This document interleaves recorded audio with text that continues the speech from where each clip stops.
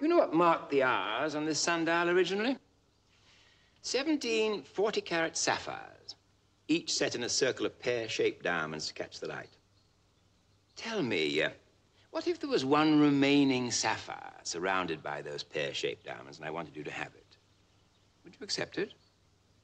Well, certainly not.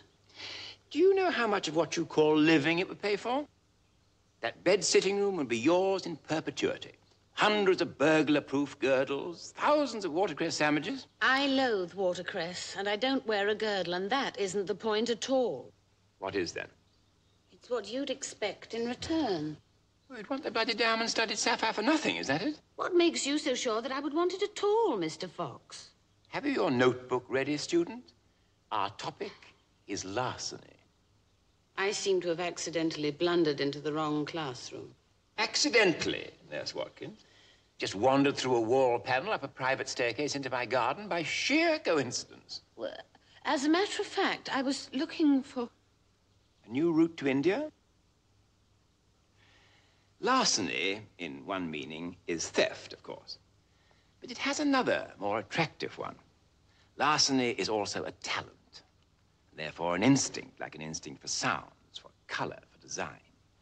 One either has it or one hasn't. Now, wherever in the world individuals of great talent or those who have otherwise deviated from the normal meet, there's an instant instinctive recognition. So it is with us, the larceners at heart. Do you follow me? That's utter nonsense. You're being very persuasive, but I know damn well what you're really after. You have the advantage of me there. I don't know just what you're after, but I'm quite sure you are or will be after something. To begin with, what if, assuming that it's true that you are playing this game, what if I were to expose you? Well, in the first place, the game's over, or as good as. And secondly, you won't.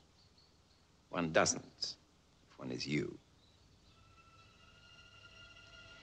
Oh, later than I thought, to coin a phrase, and I must go and unlock some doors. My mourners in their grief may think me already dead and break them down.